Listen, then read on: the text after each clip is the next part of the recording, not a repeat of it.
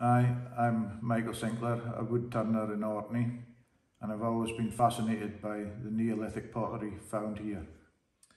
Over the years, the team at the Ness have been kind enough to let me see many of their exceptional finds. And these bowls have been quite heavily influenced by those finds.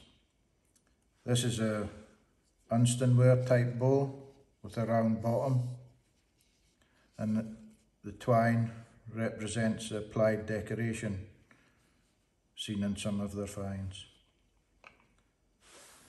This one is more grooved ware with the straight sides on the pot and the applied decoration here is done with pyrography to represent the scores found in the clay.